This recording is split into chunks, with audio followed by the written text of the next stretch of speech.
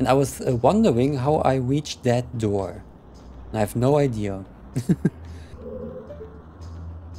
how do I get there? Can I even go there yet? Probably not. Maybe we uh, overlooked something, missed something. So yeah, the, the unexplored bit is the uh, with the small key door we can't reach. Can't we really do that? I'm confused. Should be possible, I think. I have the feeling I can do some something with that. Oh. Hello.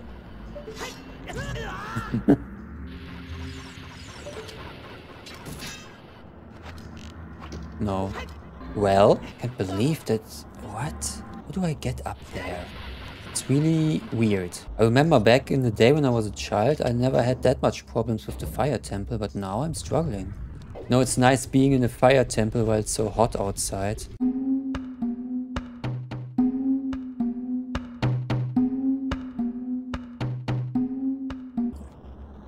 Has to be possible somehow. Something I, I missed something, obviously. So there was the map was there. Oh please don't tell me. Bruh. Ah.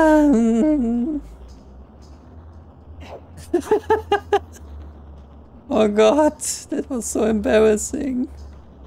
Oh, please kill me, oh no. I just had to jump. That was all I had to do.